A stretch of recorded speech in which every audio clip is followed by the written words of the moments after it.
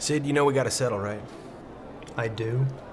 Thanks for the illuminating information, counselor. I had no idea. Your client has violated so many laws, I, I you know, I can't even keep track.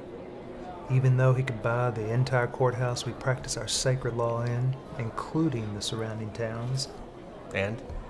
Well, it kind of makes the whole case secondary, wouldn't you say? Sometimes you just take the case, and sometimes you just take the paycheck. The facts paint you guilty. Hester Prynne should give you her A, which could double for asshole in your case. I have no idea what you're talking about.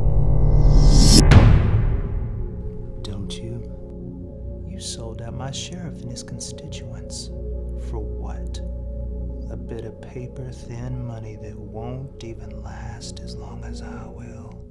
Was it sad for you when you found out Santa Claus isn't real? And were there any other big disappointments last year? I'm an eternal optimist, and I'm optimistic that you're gonna realize you're a douchebag. No need for name calling. Besides, you're not good at it. How could you be? You're pathetic. A pathetic, crying, whining mole. Not a mole on the ground, but akin to the hairy melanoma wannabe that was removed from my left buttock, not for aesthetic reasons, but just because it was ugly and it was there. Be gone. Be gone like my mole.